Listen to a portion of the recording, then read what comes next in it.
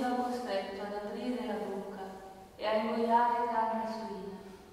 Ma egli, preferendo una morte gloriosa a una vita ignominiosa, si incamminò volontariamente al supplizio, sputando il boccone e comportandosi come conviene a coloro che sono pronti ad allontanarsi da quanto non è lecito gustare per attaccamento alla vita. Quelli che erano incaricati dell'illecito vampiro vampirio sacrificale, in nome della familiarità di antica data che avevano con quest'uomo, lo tirarono in disparte e lo pregarono di prendere la carne di cui era lecito cibarsi, preparata da lui stesso, e fingere di mangiare le carni sacrificate imposte dal re, perché agendo a questo modo sarebbe sfuggito alla morte e avrebbe trovato umanità in nome dell'antica amicizia che aveva con loro. Ma egli, facendo un nobile ragionamento, degno della sua età e del prestigio della vecchiaia, della raggiunta veneranda canizie e della condotta irreprensibile tenuta fin da fanciullo, ma specialmente delle sante leggi stabilite da Dio, rispose subito dicendo che lo mandassero pure alla morte, poiché egli diceva non è affatto degno della nostra età fingere con il pericolo che molti giovani, pensando che a 90 anni Eleazaro sia passato alle usanze straniere, a loro volta per colpa della mia funzione, per una piccola e brevissima esistenza, si perdano per causa mia e io procuri così disonore e macchia alla mia vecchiaia. Infatti, anche se ora mi sottraessi al castigo degli uomini, non potrei sfuggire né da vivo né da morto alle mani dell'Onnipotente.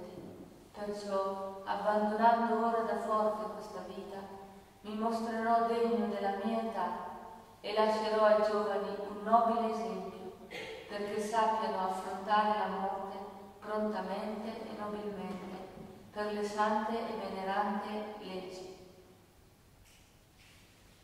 Dette queste parole, si avviò prontamente al supplizio. Quelli che, lo, che ve lo trascinavano cambiarono la benevolenza di poco prima in avversione, ritenendo che le parole da lui pronunciate fossero una pazzia.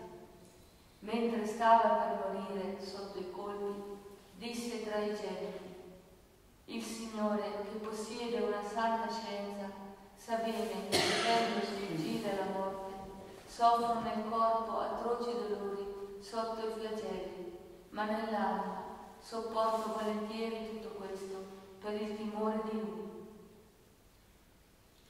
In tal modo egli morì, lasciando la sua morte come esempio di nobiltà e ricordo di virtù non solo ai giovani, ma anche alla grande maggioranza della nazione.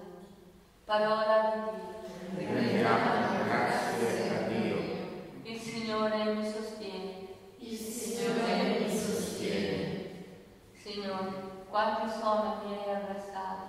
Molti contro di me insorgono, molti dicono della mia vita, per lui non c'è salvezza in Dio.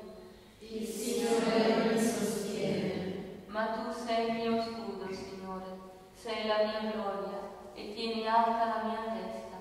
A gran voce grido al Signore ed egli mi risponde dalla sua santa montagna.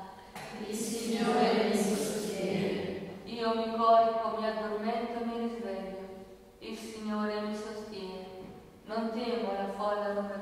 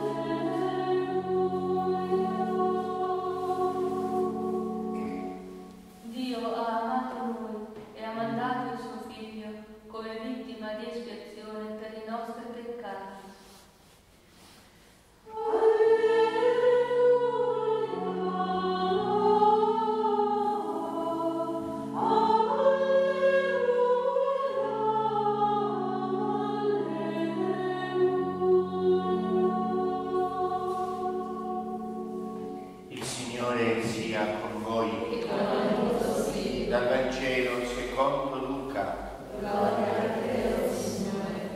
In quel tempo Gesù entrò nella città di Gerico e la stava attraversando. Quando ecco un uomo di nome Zaccheo, capo dei pubblicani e ricco, cercava di vedere chi era Gesù, ma non gli riusciva a causa della folla, perché era piccolo di statura. Allora corse avanti e per riuscire a vederlo salì su un sicomoro, perché doveva passare di là. Quando giunse sul luogo, Gesù alzò lo sguardo e gli disse, Zaccheo, scendi subito, perché oggi devo fermarmi a casa tua. Scese in fretta e lo accolse pieno di gioia. Vedendo ciò tutti mormoravano e entrati in casa di un peccatore.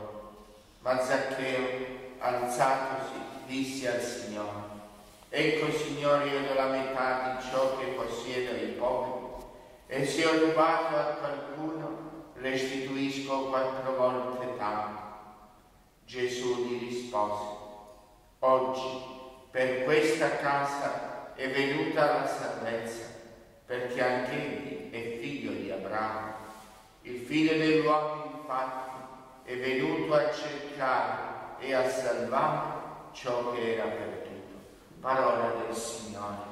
Lode a te, Cristo.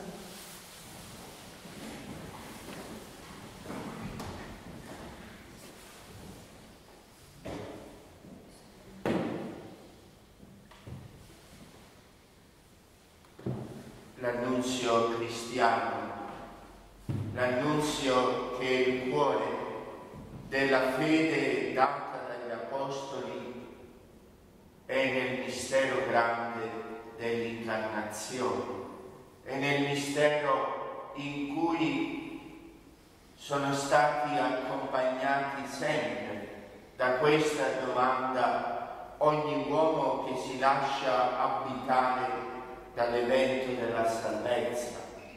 Pur Deo sono, perché Dio si è fatto uomo. Il figlio dell'uomo infatti è venuto a cercare e a salvare ciò che era perduto. E dentro questo mistero di grazia, e dentro questo mistero di luce, e dentro questo mistero che la nostra vita non solo incontra il Signore, ma vive dentro quell'incontro di misericordia che ti salva. E Luca ci racconta della vita di Zaccheo, come ciascuno di noi, come ci insegna Sant'Ignazio di Loyola, può mettere il suo nome.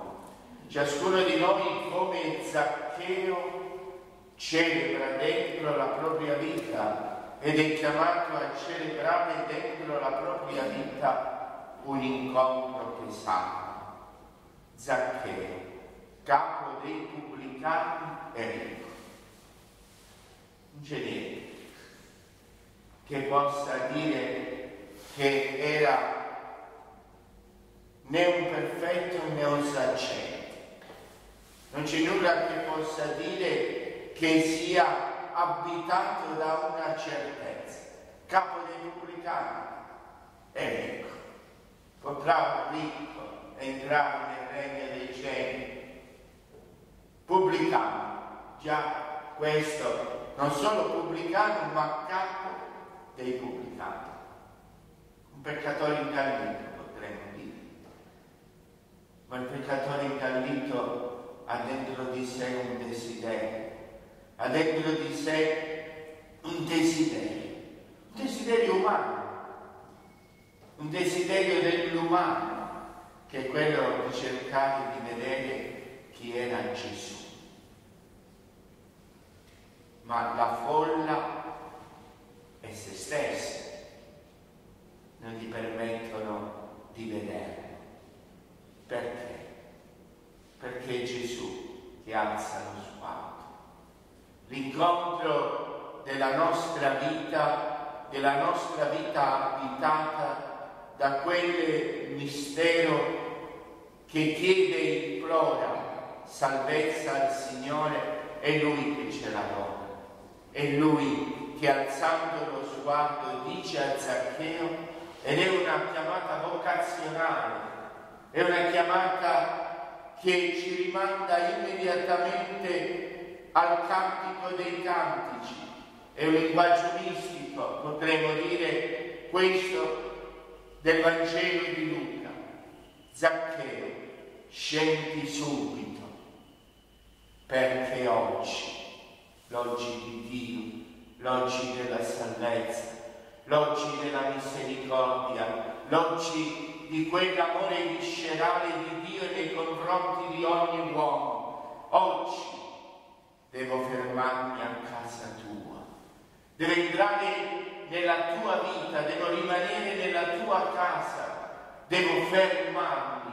C'è una stabilità, stabilità di Dio dentro Cristo Gesù dentro il cuore dell'uomo scesi in fretta e lo accolse pieno di gioia. Se c'è uno sguardo che cerca, c'è anche uno sguardo che si incontra. Gesù incontra gli occhi di Zaccheo, Gesù incontra la vita di ogni uomo che si lascia amare da lui, ma c'è uno sguardo di amore, c'è uno sguardo di tenerezza, c'è uno sguardo che ha come frutto la gioia.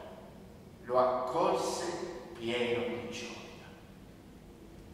Vedendo ciò, ecco un altro sguardo, vedendo ciò tutti mormoravano, tutti mormoravano. È entrato in casa di un peccatore. La mormorazione è non riconoscere la salvezza, la, la mormorazione e non riconoscere l'essere abitati dalla carità di Dio, la mormorazione, quella mormorazione del popolo di Israele che nell'annunzio dell'Esodo mormorano, la mormorazione, entrati in casa di un peccatore, ma Zaccheo se nella nostra vita celebriamo l'incontro con il Signore, ma il Signore incontra il nostro peccato reale, incontra il nostro peccato. Queste cose del Signore, rendendo la nostra umanità autenticamente umana, autenticamente umana. Qual è la conversione di Zaccaria? dopo l'incontro con il Signore, che è capace di amare, capace di amare, mentre prima era se stesso, mentre prima era dentro un'autoreferenzialità, mentre prima era restituisco quattro volte tanto.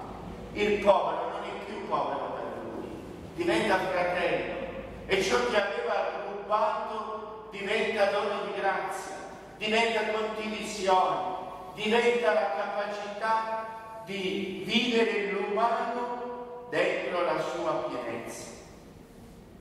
Gesù gli rispose, oggi per questa casa è venuta la salvezza.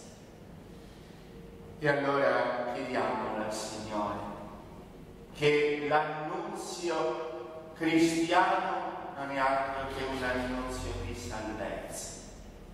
È un annunzio di salvezza. Pensate, la grande intuizione di questa donna abitata dall'evento della salvezza dentro la propria vita chiara lume, che dice, beh, l'economia deve essere un'economia di condivisione, deve essere un'economia di comunione, deve essere un'economia che è capace di diventare il segno dell'amore che si dona. Ieri, oggi, se Cristo è il rompe, si salva il mondo. Dentro una esperienza che è quella dell'annunzio crismatico della vita di Cristo dentro la storia. È venuto a cercare e a salvare ciò che era perduto.